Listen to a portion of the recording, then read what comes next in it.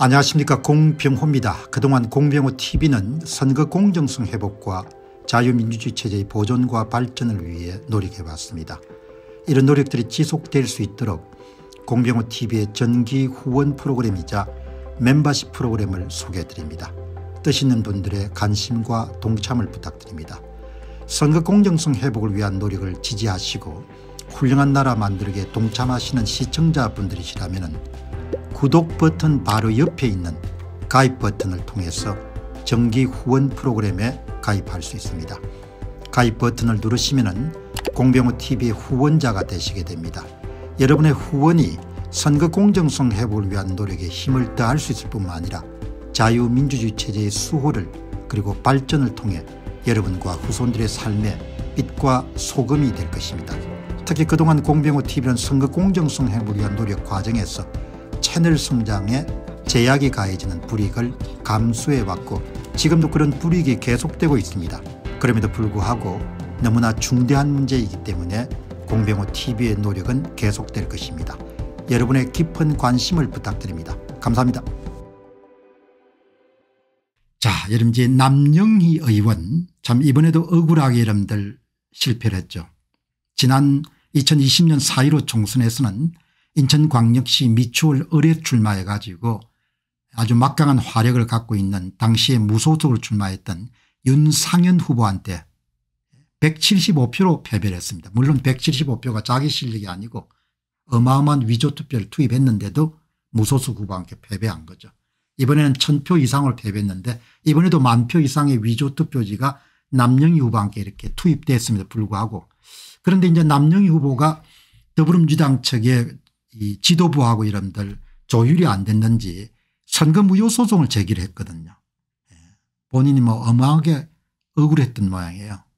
이제 무효 소송을 제기했는데 많은 분들이 뭐 저렇게 하다가 민주당 수뇌부에서 이야기를 하게 되면 아마 포기할 거다 이렇게 했는데 작심하고 선거 무효 소송을 제기했네요.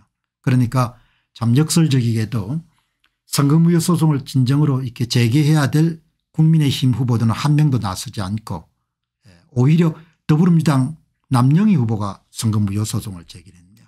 예, 투표소에 도착하면 신분증을 제시하고 주소와 이름을 확인한 이후에 투표관리관 직인이 찍힌 투표지 용지를 발급해 줍니다.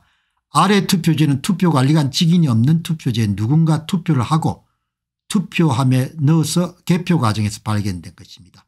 선거관리 사무를 어떻게 진행한 것으로 이해하면 될까요 남영희 후보가 이 무효표가 돼야 되는 거죠. 그런데 뭐 이런 표가 마, 많을 겁니다 아마. 예. 어떻든 간에 위조투표를 투입한 증거로 볼 수 있는 거죠. 정신이 나가지 않고서는 어느 여러분들 투표소 여러분들 그 관리 요원들이 이런 걸 할 수가 없는 거죠. 여러분들 투표해 보시겠지만 가면 신분증 확인하고 그다음에 여러 사람이 앉아가서 뭐죠. 예. 이 저 절지선 알린 것을 주지 않습니까 그건 뭐 투표관리관 도장이 찍히지 않는 거가 있었으면 그냥 당장 무효표 처리하고 투표를 기록했겠죠. 이런 게 나올 수가 없지 않습니까 위조 투표지를 투입한 거죠. 위조 투표지를. 그게 이제 한 장이 이제 발각이 된 거죠. 예, 그래서 아주 장문으로 남영희 후보가 이렇게 뭐 선거 공정성이 어떻고 뭐 그렇게 해가지고 놀랍네요. 본인이 이제 도저히 승복할 수가 없다. 4월 29일 더불어민주당 인천동구 미추홀구 국회의원 후보 남영희 여론 아시다시피 이제 실제 사전투표자 수를 부풀리는 거거든요. 실제 사전투표자 수를 가장 잘 확인할 수 있는 방법은 투표 사전투표자 신분증 이미지가 지금 선관위에 보관되어 있지 않습니까 5월 9일 날 아마 삭제가 될 겁니다. 그러면 아, 굉장히 중요한 점검물 가운데 하나가 인멸되는 거죠. 그러니까 윤 대통령의 의지가 있으면 할 수 있는 일이죠. 그럼 뭐 본인이 그렇게 생각 안 하니까 예. 그러니까 뭐 끝까지 이제 그거 하는 거죠. 윤 대통령이 모른다 그러면 뭐 말이 안 되는 이야기고 알면서 깔아뭉개는 거지 않습니까 음. 무슨 이유 때문에 깔아뭉개는지는 본인이 알겠죠. 뭐. 그러나 대통령으로서 해서 안 되는 일이죠. 그래서 직무유기를 하는 겁니다. 어떤 분들은 반역적 직무유기라고 그렇게 하지 않습니다. 남영희 의원이 선거 무효 소송 하더라도 큰 효과는 없을 거예요. 선거 무효 소송 할 때 대부분 뭐 1년 2년 정도 깔아뭉갤 거고 선거 무효 소송장에 갖고 오는 투표함이 전부 다 여러분들 다 투표함을 갈아치우게 해가 가져오지 않습니까 지금 지역선관위가 보관하고 있는 투표함 속에서도 진짜 투표지가 있고 가짜 투표지가 다 함께 들어있지 않습니까 그러니까 뭐 문제가 없는 거죠. 참조로 이 남영희 후보는 어떻게 조작을 했는지 일찍 말씀드렸습니다만 이뭐 남영희 후보도 다 표를 11,159표를 집어넣었네요.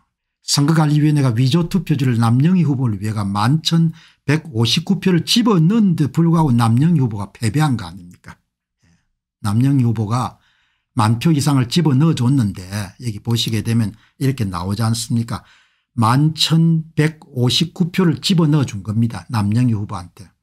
그래서 원래는 조작되지 않았을 때 윤상현 후보가 12,186표를 이긴 선거입니다. 그런데 11,159표의 위조투표지를 선거관리위원회가 특별히 남영희 후보를 사랑하사 집어넣어 줬으니까 그래도 12,186표 차이가 1,029표 차이로 이렇게 줄어든 거지 않습니까 뭐 다 나오지 않습니까 조작을 해놓으니까 선관위 자료를 보시게 되면 전부가 다 뭡니까 이 조작을 한 거 아닙니까 조작. 조작하지 않으면 나올 수가 없지 않습니까 이 표도 이름 다 이렇게 발각이 되지 않습니까 11,159표 집어넣어줬네요. 투표장 사전투표장에 오신 분은 4만 4천 명이고 위조투표지는 1만 천표고 예. 그런데 이 두 개를 합쳐가 선관위가 이런 국민들을 속인 거 아닙니까 사전투표장에 5만 6천 명이 오셨다고 이렇게 이런 표를 11,159표를 집어넣어 줬으니까 이렇게 뚱뚱한 그게 나온 거죠. 그러니까 이 남영희 후보는 잘 모르는 것 같아요. 부정선거를. 지금도 부정선거를 잘 모르면 말이 안 되는 거죠. 그런데 워낙 그 동네는 또 머리를 잘 쓰는 사람이 많으니까 뭐 이걸 통해 가 또 거둘 수 있는 효과를 알겠죠. 국민의힘은 한 명도 나서지 않은데 더불어민주당이 오히려 선거 무효 소송을 제기했다. 선거가 공정하냐 그렇지 않겠냐 뭐 그렇게 노리지 않겠습니까 그러니까 그냥 내버려 두겠죠. 윤상현 후보가 여러분 참잘 싸웠습니다.